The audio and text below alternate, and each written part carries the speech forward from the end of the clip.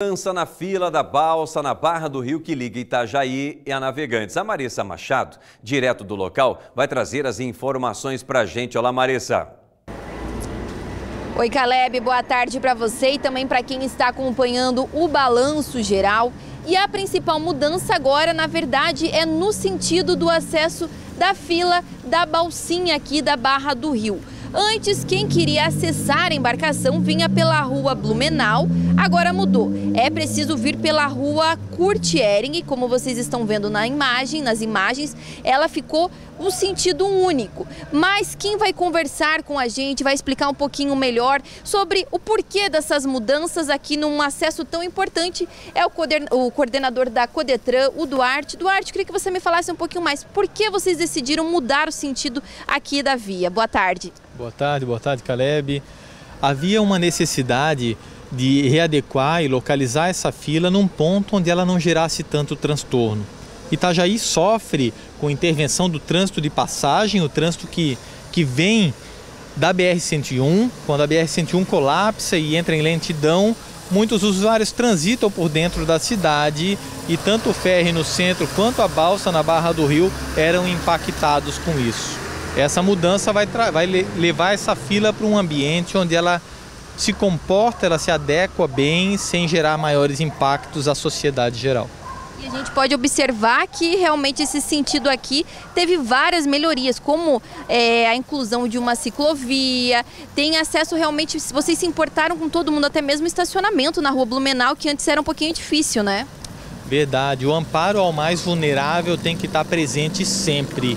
Mesmo hoje, um dia chuvoso, o usuário continua utilizando ciclovia né? e foi impressionante o número de ciclistas além do que tínhamos no, do que tínhamos no projeto.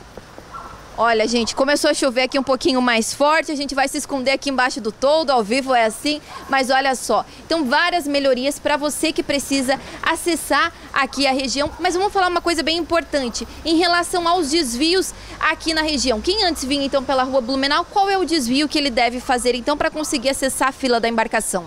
Ok, logo na rua Blumenau, próximo a Celesc, o condutor vai pegar o Fredo Eike, vai ficar na pista da esquerda, pegar o Fredo Eike e no próximo semáforo já pegar a Curtiering, onde estará sinalizado o início da fila da balsa.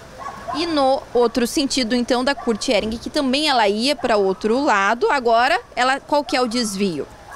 É, quem utilizava a Curtiering para pegar no sentido oposto a que ela é hoje, deverá sim transitar pela rua Blumenau e acessar em frente à Secretaria de Segurança a Alfredo Eike e seguir a sua rota normalmente.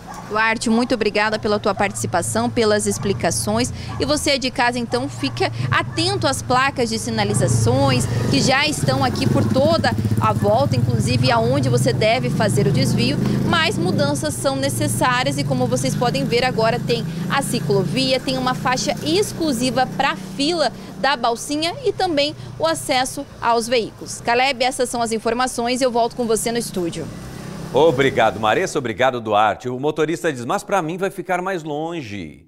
E o cidadão comerciante, quem tem loja, empresa na rua Blumenau, vai dizer, para nós vai melhorar demais. E aí, vai agradar a todos? Nunca isso vai acontecer. Cidade em movimento, buscando alternativas na mobilidade, que é um desafio diário com o aumento da frota de veículos, você sabe muito bem. Qual é a sua opinião? Claro que você pode participar.